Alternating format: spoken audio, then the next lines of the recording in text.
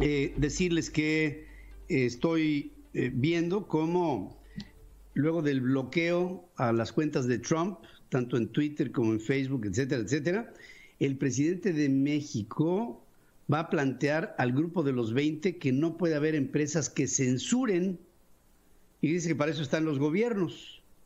Y, y dice, anuncia que planteará a los países de los 20 que no puede haber particulares que se conviertan en órganos de censura. Yo pregunto, bueno, ¿qué no hay reglas?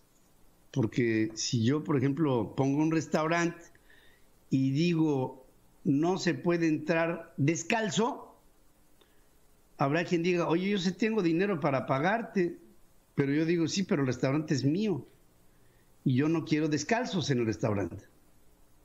Entonces, el presidente lo que dice es, no, el, el, sector privado no puede poner reglas en nada.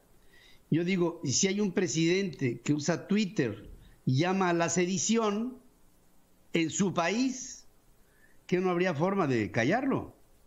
O, o se enoja el presidente de México.